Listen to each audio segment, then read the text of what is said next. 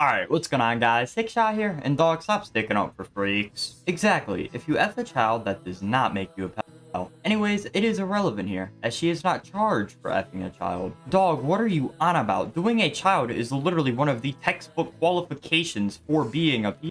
What do you mean that's not the qualities of one? It also just blows my mind how you're trying to say that, like, oh, it's irrelevant because she wasn't charged for it. Dog, I don't care what she was charged with. She preyed on an innocent child. That is a moral code violation to 90% of the people on this planet. That is not something irrelevant. I'd also just really love to have a look at this guy's moral compass because according to this guy, raping a child doesn't make you a like, what is your actual qualification here, dog? Being Jeffrey Epstein? Like, I want to know how twisted you truly are in the mind. Like, I would really just love to know how these people are perfectly fine existing on Twitter and in a public atmosphere when they're openly snitching on themselves like this. Because basically, each and every single time one of these posts are made, just like, oh, this teacher was charged from sexually assaulting children, these sort of gremlins always lurk in the comment sections, just open badge out, yeah, I support people, what about it? Like, it really is just twisted, dog. Because to put yourself in the victim's perspective for like five seconds. You get raped by one of your teachers, someone you're supposed to look up to and trust, right? These people are supposed to protect you. So not only do you have to deal with that for the rest of your life, the trauma from all that, the legal ramifications, everything such as that, you take it a step further and it gets talked about online and you see people defending your